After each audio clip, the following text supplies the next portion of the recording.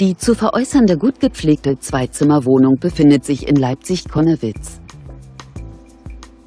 Das Objekt wurde 1995 erbaut und wird über eine Zentralheizung beheizt. Die Wohnung verfügt über einen Keller, einen Tiefgaragenparkplatz, ein Badezimmer, ein Schlafzimmer sowie einen Balkon. Die Ausstattung befindet sich in einem guten Zustand.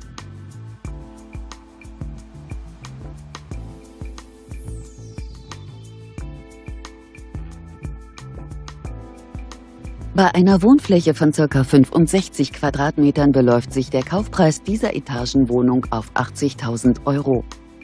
Falls Sie Interesse haben, kontaktieren Sie uns telefonisch oder via Internet.